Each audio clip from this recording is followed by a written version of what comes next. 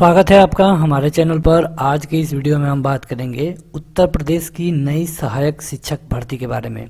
यहाँ पर इस बार कुल मिला के लगभग उनहत्तर हज़ार ये भर्ती आ रही है।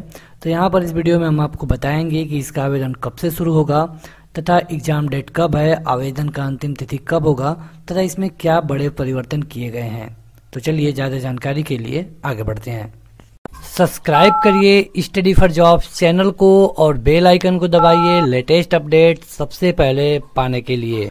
तो बात करें डेट की तो ये फॉर्म भरना शुरू होगा 6 दिसंबर से और इसका अंतिम डेट है 12 दिसंबर। 12 दिसंबर तक ही आप इसके फ़ीस का पेमेंट और 12 दिसंबर तक ही आप इसे कंप्लीट कर सकते हैं।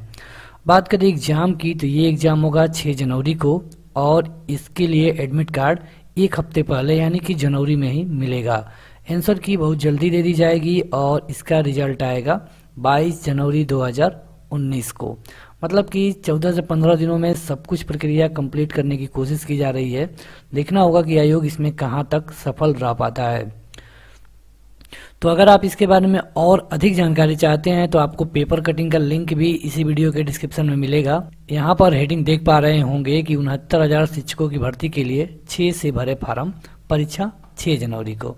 तो यहाँ पे यही दिया गया है कि विज्ञापन 5 दिसंबर को आएगा, आवेदन 20 दिसंबर तक कर पाएँगे और परिणाम आएगा 22 जनवरी को।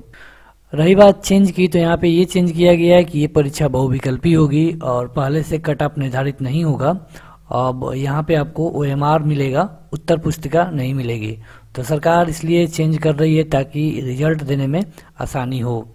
तो ज़्यादा जानकारी के लिए आप ये पेपर कटिंग पढ़ सकते हैं। ये पेपर कटिंग है अमर उजाला की। इसका भी लिंक आपको इसी वीडियो के डिस्क्रिप्शन में मिल जाएगा।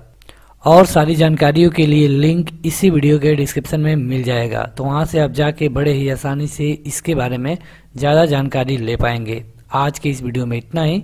Thank you